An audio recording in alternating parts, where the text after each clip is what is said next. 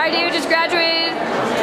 He just graduated from his master's program of divinity. How you feeling, David?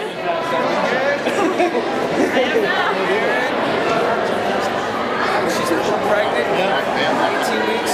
So if our baby watches this in the future, I love you. Look how good she looks. She's just so cute.